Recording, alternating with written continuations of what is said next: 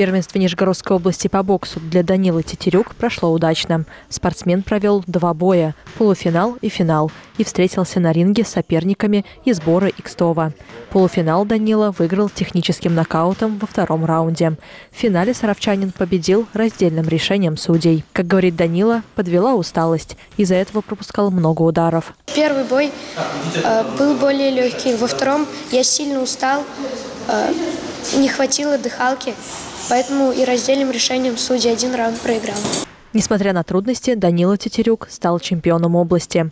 Юный боксер занимается в спортивной школе ИКАР три года. Это были его сороковые соревнования. И каждый выход на ринг для него – возможность для роста. Юноша мечтает выполнить кандидата в мастера спорта и стать профессиональным боксером.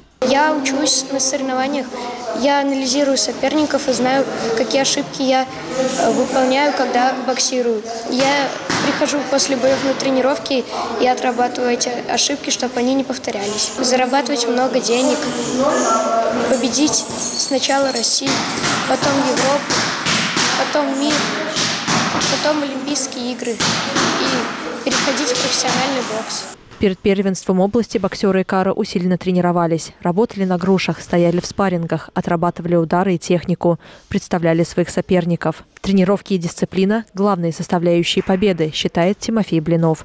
Он стал серебряным призером области. У меня было два боя. Э, первый бой я победил э, единогласным решением судей. Э, второй бой мне попался сильный боксер, я ему проиграл э, единогласным решением. Для Арсения Жирнова областные соревнования прошли чуть менее удачно. Арсений провел три боя, в последнем проиграл. Боксер объективно оценивает свои силы. Нужно работать над дыханием и техникой, а на тренировке выкладываться на 100%. Арсений Жирнов завершил тройку призеров и принес Сарову бронзу. Я доволен, что я стал призером хотя бы каким-то области. А так надо получше сейчас потренироваться и потом в следующем году выиграть область. Надо было работать, чтобы у тебя выносливость была получше, чтобы ты не отпускал руки, когда устал, а держал их. И все. Юные боксеры стараются участвовать в выездных соревнованиях как можно чаще, чтобы набираться опыта. Тренируются спортсмены у Вячеслава Дронова.